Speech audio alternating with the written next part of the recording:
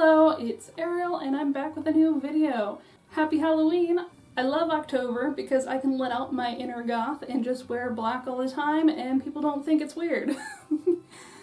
Mostly people think it's weird because I normally dress in pastel colors, so it's not that goth people are weird. Goth people are pretty awesome, which leads me to today's project, and that is going to be cottagecore but goth. You could probably argue that cottagecore but goth is green witch vibes, and to that, I would say yeah, that's probably correct. But we're gonna call it cottagecore goth, and that's what I want to do today. Instead of working with a vintage pattern, I am actually going to be making something from scratch. I am going to show you to the drafting table and explain my idea further, and we'll go from there. So like all chaotic creatives, I put all my ideas on sticky notes. And here's mine. But for the sake of my audience, I redrew my design on a bigger piece of paper and in full detail. Well, starting off, I'm making this outfit into two parts. It's going to have the blouse and then it's going to have the skirt. The skirt I have yet to decide whether I want it to be in black or in charcoal.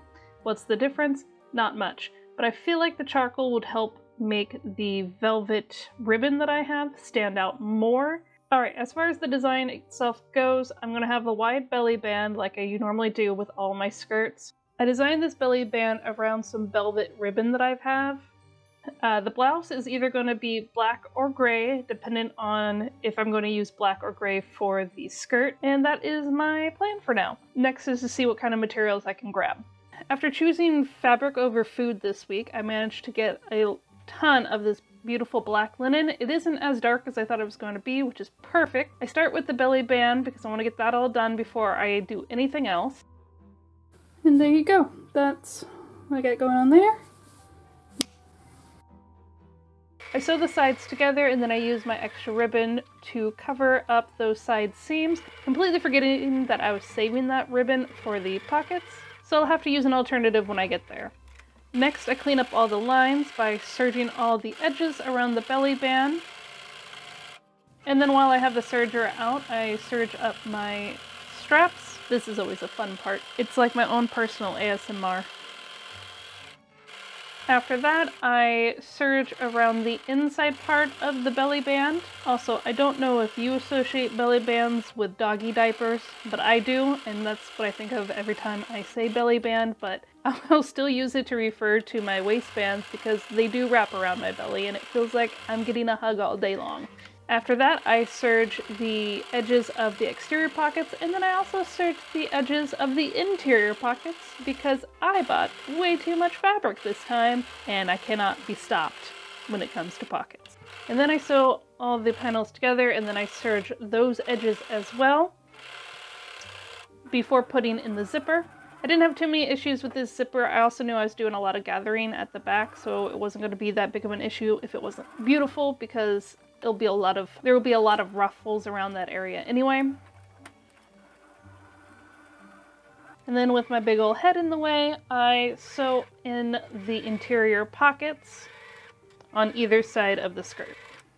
And then I take a quick cat break and lay out my skirt so I can put on the exterior pockets and line those up and pin them down. And of course, having a white cat, you're bound to find a hairball or two. But I also still had a little bit of velvet left over, so I decided I would use that up and make little bows to go on top of the pockets, and then I'll put a little button in the center of the bow. And of course, when I go to finish the hem, I realize I'm completely out of black or gray hem tape, bias tape, ribbon, whatever. But I do have a ton of orange bias tape from when I made my pumpkin pinafore last year and decided, you know, why not? No one's ever going to see it anyway, and it's going to be like a little spooky time peekaboo if they do. And iron it down. I usually go for about three inches because I, I don't know, that just seems like a good complete number. And then I'll iron it down, I'll fold it, I'll pin it, then I'll hand sew it on the back side. That way you can't see it on the front side. And then I am done with the skirt. Now moving on to the blouses. And yes, I did say blouses because not only did I get gray because I got black fabric like I said I was going to do, I also got black fabric. And then I also got white. because why not? I'm gonna be honest with you, I did technically use a pattern for this skirt. I used the McCall's 8269, which is the same pattern that I use for my favorite yellow skirt. Now, unlike the skirt, I did not actually use a pattern to make these blouses. They were drafted, and I absolutely hate drafting, but I think I did a pretty decent job. At the very least, they did fit when I finished, and I think that's all I'm really looking for when it comes to clothes. More or less, I just cut out two big rectangles for the front and back with a little bit of scoop for around the necklines. And then for the sleeves, I did a shape that makes it a little more narrow around the shoulders that and flares out towards the wrists. And I finished all these blouses with my serger because I'm running pretty low on ribbon and since I had to do three blouses for this outfit and the serger goes real fast. After serging all the pieces, I then finish off the hem by doing a fold and a fold and then top stitching that fold down. And to save on money, I use the elastic I already have on hand, so I'm making pretty wide channels because I have more or less only wide elastic to use. Because apparently I only carry wide, extra wide, then tiny COVID mask thin elastic. So one inch cuffs are gonna have to do. And then I shove the elastic through and I test it out. It's good to go. And then I just repeat that entire process two more times and then I have my black and then I have my charcoal blouse. I didn't change any of the construction methods for the blouses, but on the black one I did decide to mix it up and I made the blouse itself a lot shorter so it's more of like a bare midriff top. I've been getting really into those lately because they take away the bulk from my high-waisted skirts and I feel like I'm probably going to end up wearing the black one a lot more than the other two. Uh, and then for the gray, I did not have any gray bias tape, so I ended up using black on the top. I don't think it's that noticeable from the outside. I also serged it in black because there's no way I'm going to buy four rolls of gray thread when black will do. And then after that, all I do is thread my hem tape string through the top, and I cut it and tie it off, and that's all I got and it's done. Time for the reveal.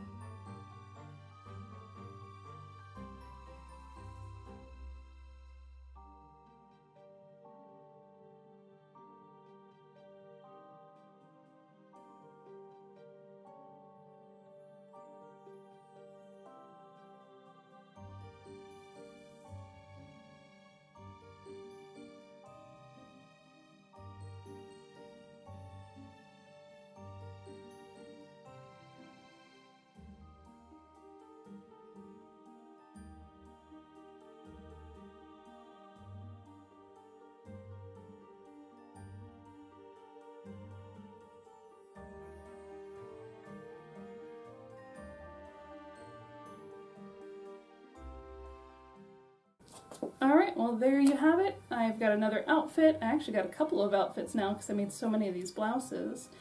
Uh, I really do like how the blouse came out despite having to make the pattern from scratch.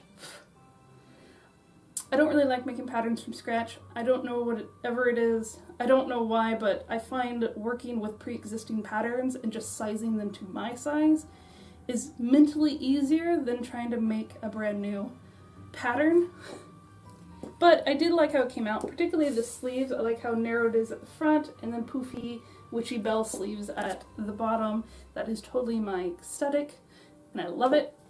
I absolutely love this skirt. I've been thinking about this design for quite a while because I've had this black ribbon for years. I just never had a reason to make a black linen skirt because I don't really wear black in my wardrobe. But as I had said in the last video, if you've seen that one, that I want to do more dark aesthetics because for one, I like them, and two, I think it would be a great way to mix up my wardrobe. I'm definitely not going to get rid of the pastels. I definitely love pink and we'll be making more pink things. But who doesn't like a dark and brooding wardrobe for the fall and winter seasons? I think that'll be fun. So I look forward to making more, and I have more aesthetics in mind that may or may not involve a bunch of applique butterflies. Anyway, thank you for watching. If you like this video, hit a like button, that would be great. Uh, if you are not subscribed, perhaps subscribing, and leave a comment on another aesthetic that you think I should try. I am certainly open. I don't know all of them, there's so many. Until next time, you have a great day. Bye!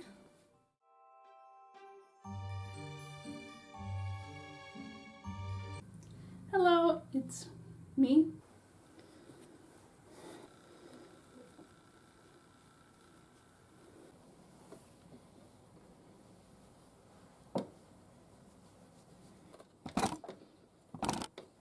Don't rub up against that.